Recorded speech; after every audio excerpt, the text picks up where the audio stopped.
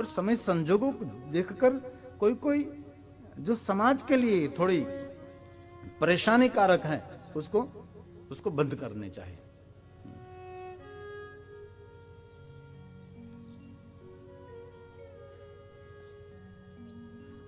और कहीं कहीं बेटी का विवाह हुआ और एक साल भी नहीं हुई और उसका पति मृत्यु हो गई तो कोई कोई विधि उनके पास नहीं कराने चाहिए।